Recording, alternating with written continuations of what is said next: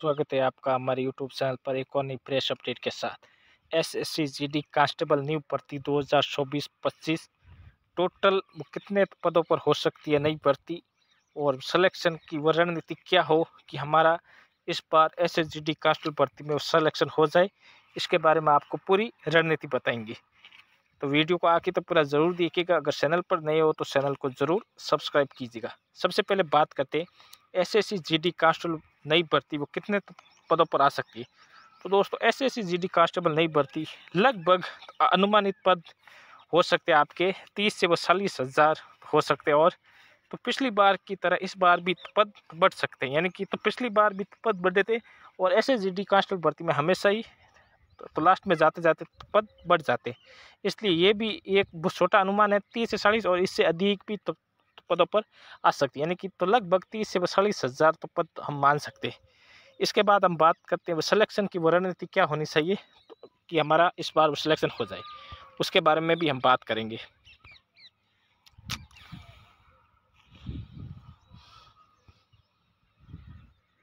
करें S S G D constable भर्ती 2025 के लिए बेस्ट प्रैक्टिस सेट बुक के बारे में जो सक्षुत प्रकाशन के द्वारा निकाली गई है। एस एस जी डी भर्ती दो हज़ार पच्चीस के लिए बेस्ट प्रैक्टिस सेट बुक जिसके अंदर आपको नवीनतम पैटर्न पर आधारित प्रैक्टिस सेट देखने को मिलेंगे। ये आप तो मंगवा कर अपनी तैयारी को और तो मज़बूत कर सकते हैं दोस्तों, क्योंकि सफलता का एक ही राज है तो बार बार अभ्यास करना। सक्षुत प्रकाशन की प्रैक्टिस सेट के द्वारा आपको सिलेबस के अकॉर्डिंग प्रैक्टिस सेट वो दिए गए, जो कि एग्ज़ाम ओरिएंटल है। यानी कि एग्ज़ाम में जिस प्रकार से क्वेश्चन आते हैं, उस प्रकार से सक्षुत प्रकाशन के तो प्रैक्टिस सेट के अंदर वो क्वेश्चन दिए गए। ये आप तो मंगा कर आप अपनी तैयारी को मज़बूत कर सकते हो। इसके अलावा सक्षुत तो प्रकाशन के द्वारा एस सी कास्टल भर्ती दो हज़ार पच्चीस के लिए बेस्ट वो गाइड वो निकाली गई है, वो भी आप तो मंगवा सकते हो। ये एस एस कास्टल भर्ती दो हज़ार पच्चीस के लिए सक्षुत प्रकाशन के द्वारा बेस्ट वो गाइड वो निकाली गई है।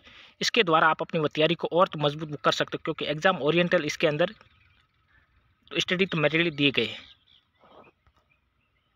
रणनीति के अंदर हमें सबसे पहले ये देखना होगा कि S S G D constable नई भर्ती के अंदर जो अभी पिछले जितने भी S S G D constable भर्ती के पेपर हुए थे, उन सब की हमें तो प्रीवियस पेपर की बुक लानी होगी या हमें इंटरनेट से पेपर वो डाउनलोड करके जितने भी आज तक S S G D constable भर्ती के पेपर हुए, उनका हमें एनालाइज वो करना होगा कि वो किस प्रोसेस से, किस हिसाब से वो क्वेश्चन आए।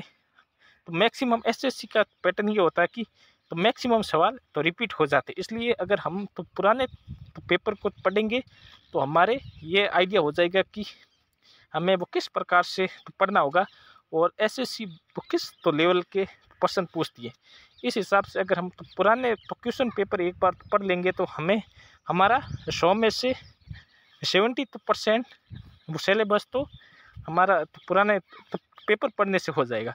इस प्रकार आपको सबसे पहले जितने भी तो पुराने पेपर हुए उसका अध्ययन करना होगा।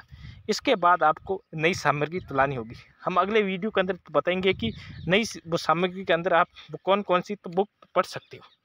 अगर अपडेट अच्छी लगी तो वीडियो को लाइक और चैनल को ज़रूर सब्सक्राइब कीजिएगा। Thank you. जय हिंद। वंदे मातरम।